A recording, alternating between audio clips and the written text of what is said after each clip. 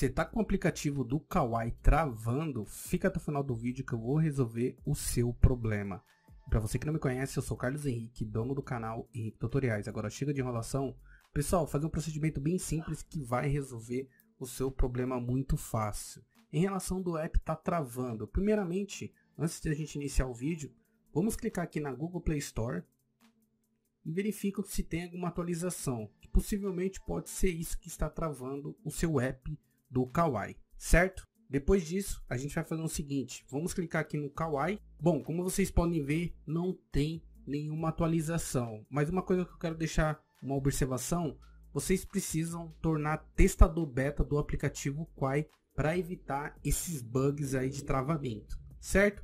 Se fez atualização e ainda continua travando, vamos fazer um outro procedimento. Vamos sair aqui do, da Google Play Store, Vamos clicar nas configurações, vamos na opção apps ou aplicativos, dependendo do modelo do seu smartphone. No meu caso, eu vou clicar em gerenciar apps. Para não perder muito tempo, já vou logo digitar aqui em cima no campo de pesquisa Kawaii. Bom, apareceu o aplicativo Kawaii, vou clicar em cima. Bom, pessoal, depois que você clicou no app, você vai fazer o seguinte, um pouquinho mais abaixo aqui, ó, no rodapé, tem a opção aí de limpar dados, certo? Vamos clicar Aqui em limpar dados vai aparecer duas informações, limpar todos os dados ou limpar o cache, né? Então vamos clicar na opção limpar cache e vou dar OK. Bom, feito isso, você vai fazer o teste e verifica se o app ainda está travando. Caso o problema ainda persista, certo? Você vai fazer o seguinte, clica aqui novamente e você vai limpar dados.